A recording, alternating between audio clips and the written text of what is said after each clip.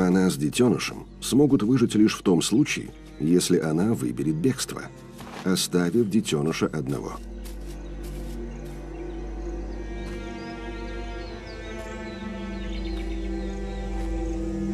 Но я знаю эту уловку.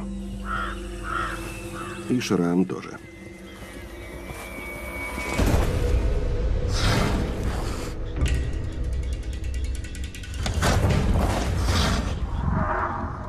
Таков закон джунглей.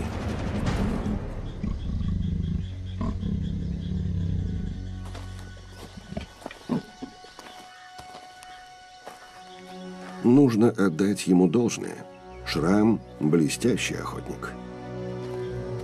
Видимо, это и привлекает в нем Клео.